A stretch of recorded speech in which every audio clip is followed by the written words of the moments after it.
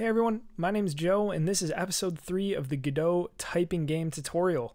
In this video, we're going to learn how to randomize the prompts that appear below an enemy, how to scale our game's difficulty progressively over time, and then how to tune what that scaling looks like to find the right balance for the player. Let's get started. So the first thing that I want to do is actually take you through a couple changes I made off camera.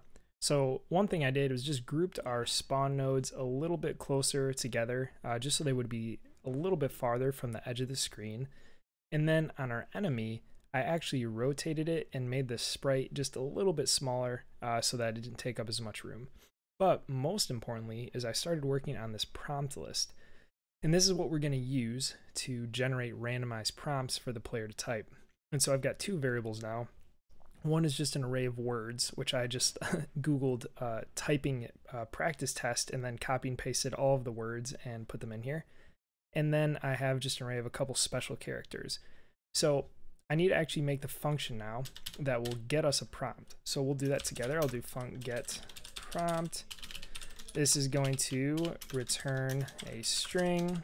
And what we're going to do uh, is first we need to get two random indices from each of these lists. So we'll say var uh, word index, and this is going to be randi modulo words dot size. And we're going to do the same thing for our special characters now. So I'll do special index and we'll do special characters dot size. So now we're going to have two indices for both of those. And now we need to get our var um, word and we will say words of word index. Same thing for our special characters I'll say special, whoops, special character, and we will do special characters and special index. That sounds kind of weird to say, but okay. So now what we can do is just return word plus special character. And this should be good, except for one thing. Um, so this list is all lowercase words, uh, just because I didn't want to go through and manually change all of them. And in the future, it'd be nice, like if you wanted to expand on this game, not to have to worry about it. And so if you're a game that is only going to do uppercase or only lowercase, you don't have to worry about this, but I'll show you how to force your first letter to be uppercase, even if the rest of your word is not, just in case that's a use case you want to do. So something that we can do here, instead of just adding our word, is we can say var actual word and we can do uh, word, whoops, dot wad, word dot substring uh, from zero, length of one. So take the first character and say to upper, and then we can add word dot substring, and then we can do just one. And so this will take our first character from our word, put it to uppercase, and then this will take the rest of our word, um, starting at index one. And if you don't provide that second parameter, or if you provide negative one, same thing, it'll just get the rest of the word. And then just to force that we're always going to be lowercase, we can also do to lower. Again, not necessary here, but we'll do it just to show. And now I can change this to be actual word. And now we'll have a word that we're generating, or a prompt that we generate that has a capital first letter, lowercase for the rest, and is going to have a special character at the end. Okay, so let's add this now as an auto load. So I can come up to project settings, auto load. I'll open the path selector, hit prompt list, add, and it just should work from there. And now we'll need to go into our enemy script actually and add uh, functionality to get a prompt. So I think we'll just hook into the ready function for that. So function ready. And then what we're going to do is say prompt text equals prompt list dot get prompt. So we're going to set our prompt text to be equal to a randomly generated prompt. And then to make sure it actually uh, displays that, we will say prompt.parse bb code, uh, and we'll set it to parse text or prompt text. Now we're going to make sure that we don't forget the center tags here.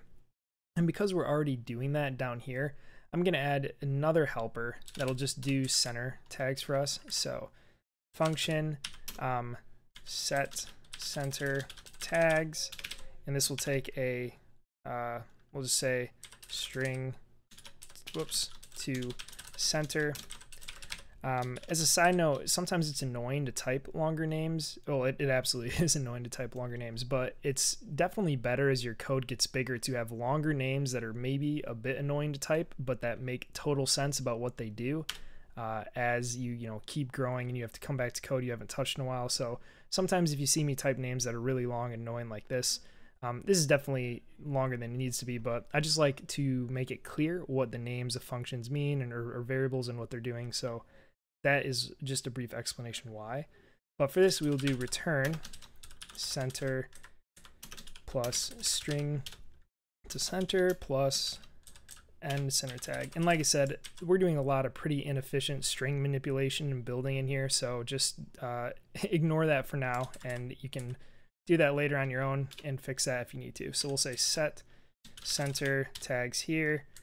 So we'll actually be building that here and right here. Okay, so we're going to use our new uh, function to set our center tags for the actual text we're building up there. And we're going to do that at the beginning as well. In our ready, we're going to say set center tags. And here we're just going to set to prompt text. Okay, there we go. Now if I run this, we should see uh, new enemies get spawned with words from our list and with some kind of a punctuation mark uh, and a capital letter. So if I start typing, we'll see that it works. Whoops. Sometime began night question mark mean. Oh, this is great. I love this.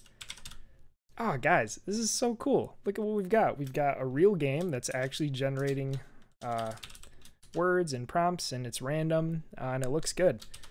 Now the next thing that we probably want to do is start adding difficulty so that our enemies will move a little bit faster, they'll spawn a little bit quicker, just to kind of make the game more exciting and get a little bit more frantic. So the first thing we're going to need to increase difficulty is to come into our main and we're going to add another timer and we're just going to call this difficulty timer I'm going to start with a time of 10 seconds. So every 10 seconds, uh, the game will have a difficulty tick, which will bump the difficulty up.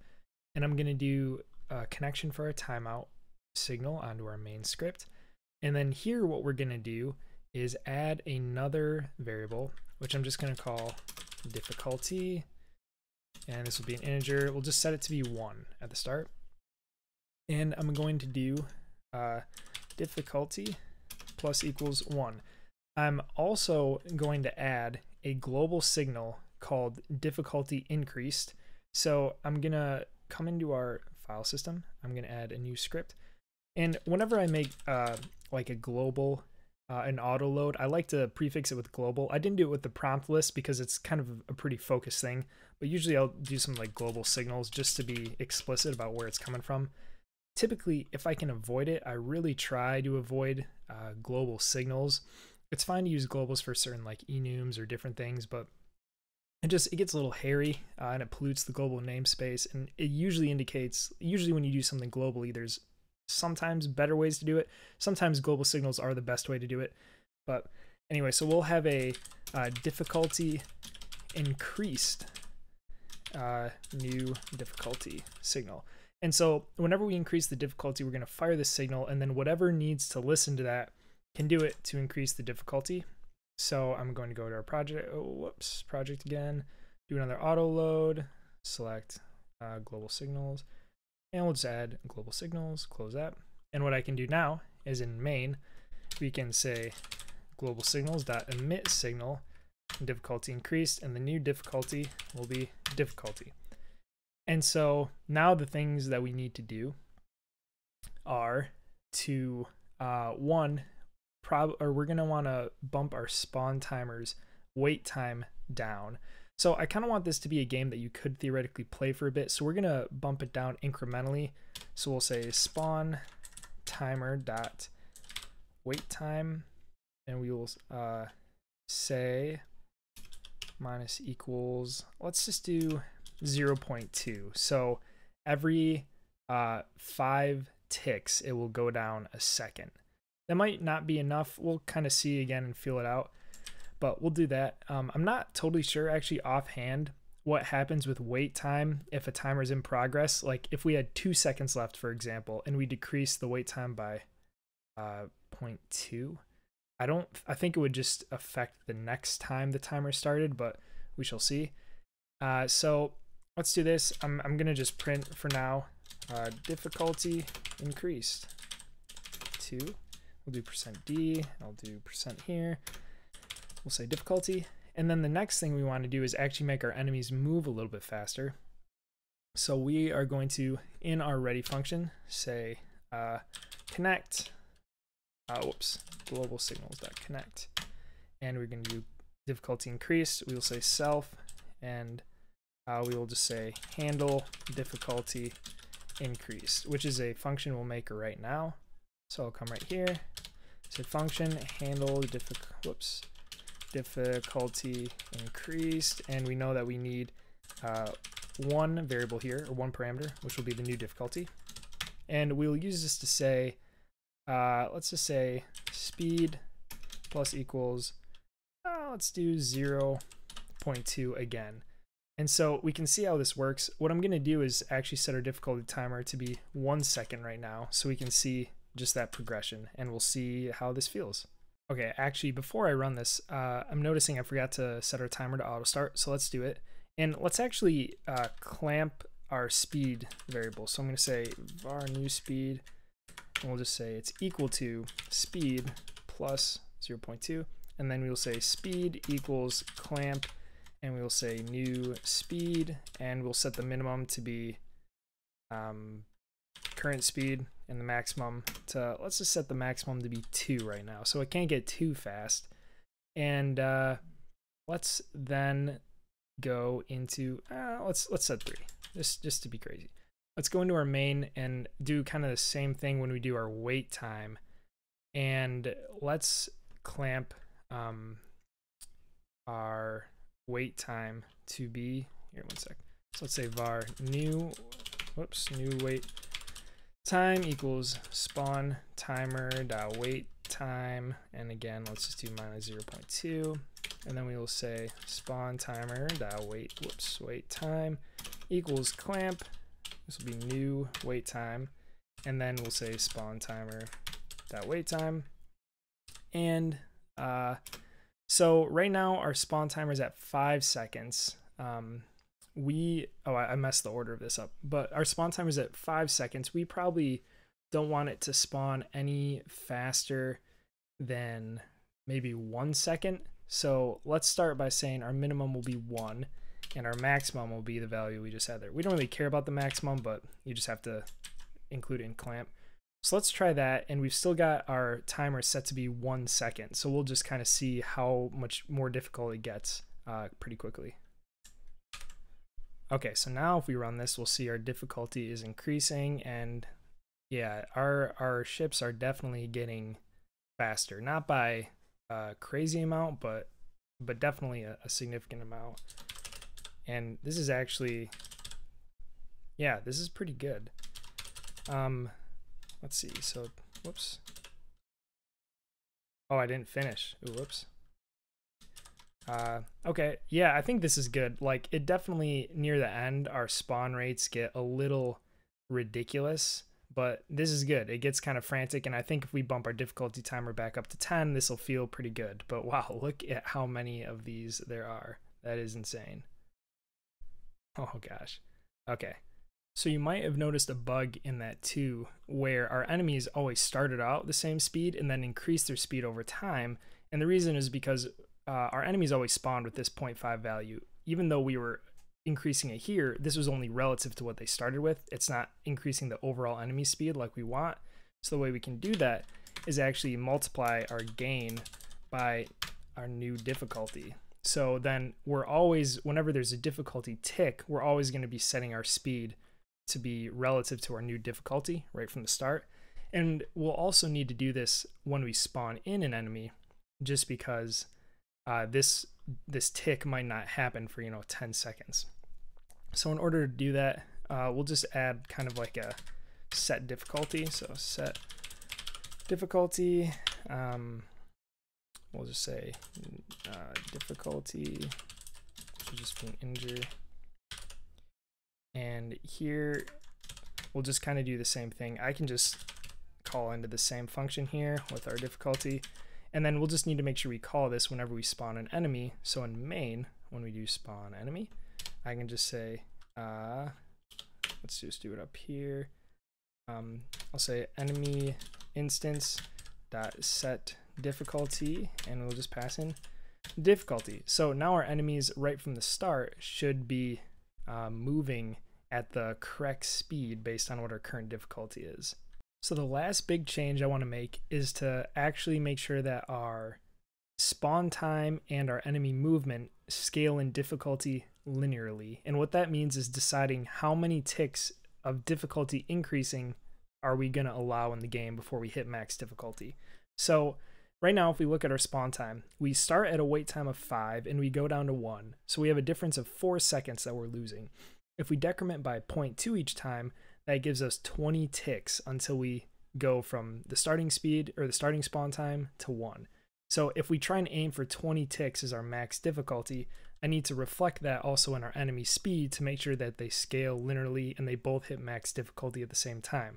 So right now we're using 0.2, which is higher than we want it to be because we uh, we only have a gap of we have a gap of 2.5 here as opposed to 4 which we had before.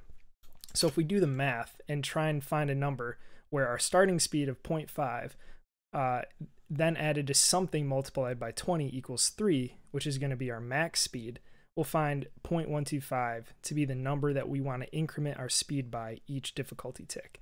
So if we change this to be 0.1, whoops, 125, uh, now we will see our speed and our spawn time hit max difficulty at the same time. The other thing we want to do uh, is we currently have our difficulty to be 1 by default and go from there, but we actually want to start it as 0 so that when it increases, we'll be adding 1 here.